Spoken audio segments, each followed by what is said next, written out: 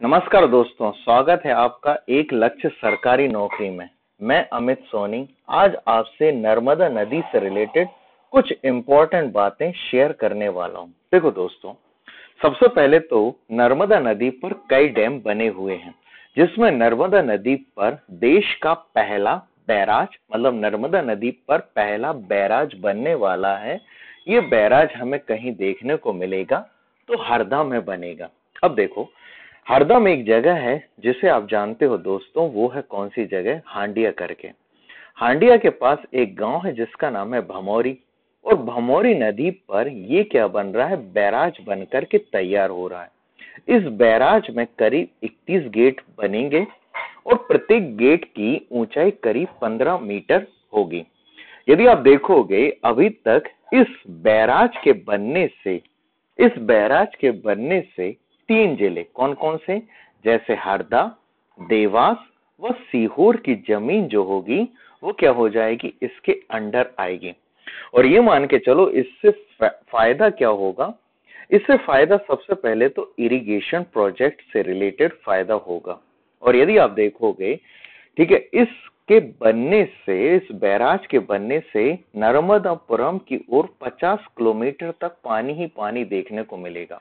मतलब ये मान के चलो कि तीन ज़िले सबसे ज़्यादा बेनिफिट पाएँगे वो है हरदा देवास व। सीहोर अभी तक नर्मदा नदी में कोई भी बैराज नहीं बना है दोस्तों। है ना? अब क्या है दोस्तों? इसकी खासियत यदि आप देखोगे, इस इस बैराज बोले या बाँध बोले एक्चुअली इसका क्या है? बैराज है ये। करीब इसकी लंबाई 2913 मीटर होने वाली है। और इसके लिए क्या होगा, ये प्रॉपर वे से इरिगेशन और इरिगेशन के साथ साथ इलेक्ट्रिसिटी का प्रोडक्शन भी हमको देखने को मिलेगा।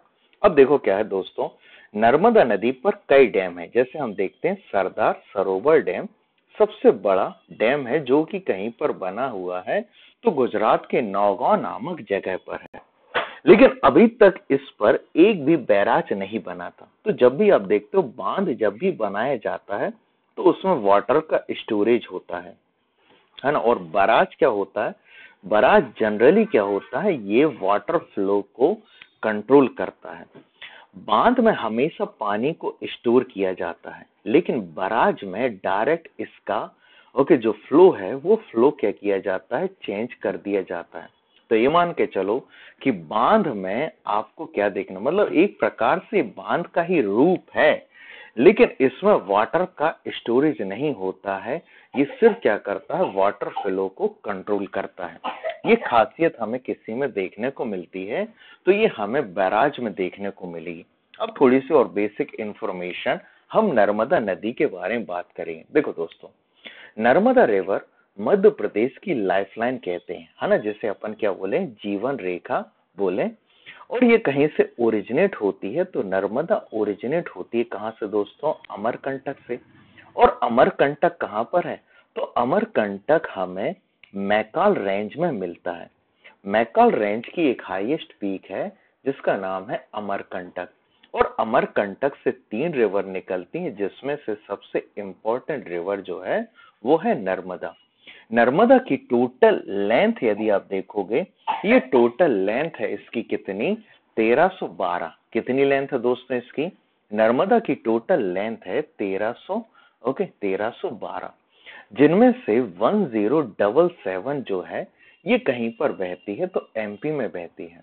और दो, यदि आप देखोगे 74 किलोमीटर करीब ये महाराष्ट्र में बहती है, और उसके बाद 161 किलोमीटर ये कहीं पर बहती है तो गुजरात में तो 161 कहाँ पर? गुजरात में।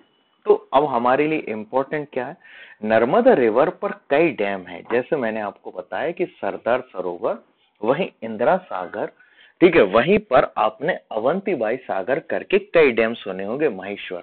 है ना? महेश्वर डैम वगैरह ओमकारेश्वर ये सभी नाम आपने सुने हुए हैं। लेकिन लेकिन आपने, ओके, अभी तक बराज नहीं सुना होगा। ये बैराज कहीं पर बनने वाला है तो अब ये कहाँ पर बनेगा दोस्तों? हरदा में बनने वाला है। कहाँ पर बनेगा दोस्तों ये? ये बनने वाला है हरदा में। तो यदि आपको ये इंफॉर्मेशन पसंद आई हो दोस्तों तो इसे लाइक करें शेयर करें सब्सक्राइब करें, और मिलते हैं अगले वीडियो में। तब तक के लिए जय हिंद, जय भारत।